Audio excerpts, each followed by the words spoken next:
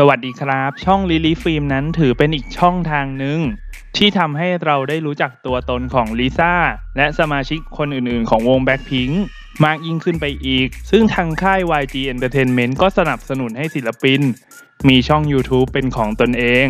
เพื่อเอาไว้สื่อสารกับแฟนคลับ ปัจจุบันช่อง Lilifilm นะครับ มีวิดีโออยู่ด้วยกันทั้งหมด 7 คลิป ประกอบด้วยคลิปการเดินทางไปยังสถานที่ต่างๆ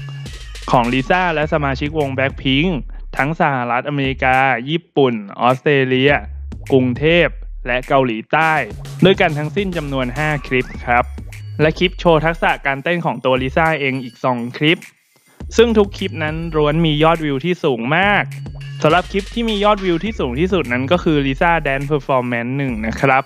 มีคนเข้าชมมากถึง 12 ล้านวิวด้วยกัน ในช่วงเวลาแค่ 3 เดือนเท่านั้น ในขณะที่ Dance Performance 2 มีคนดูมากถึง 6.2 ล้านคน ในเวลาเพียงแค่ 5 วันเท่านั้นครับ ซึ่งไม่ว่าเธอจะเต้น cover dance เพลงอะไรก็ตาม ก็พลอยทำให้ศิลปิน ที่เธอไป cover นั้นดังตามเธอไปด้วยสำหรับใครที่ยังไม่ได้ดูครบทั้ง 7 คลิปนั้น ก็แนะนำให้ไปดูนะครับ แก้เหงาไปก่อนละกันครับ สำหรับตัวช่อง Lilifilm นั้นเปิดช่องวันแรกวันที่ 25 ตุลาคม 2018 ปัจจุบันมีการประมาณการกันว่า ช่อง Lilifilm มีรายได้อยู่ราว 2,300 เหรียญดอลลาร์สหรัฐ ถึง 37,500 เหรียญดอลลาร์สหรัฐต่อเดือน หรือถ้าตีเป็นเงินไทยก็ตกราว 69,000 บาทถึง 1 1 2 5 0 0 0 บาท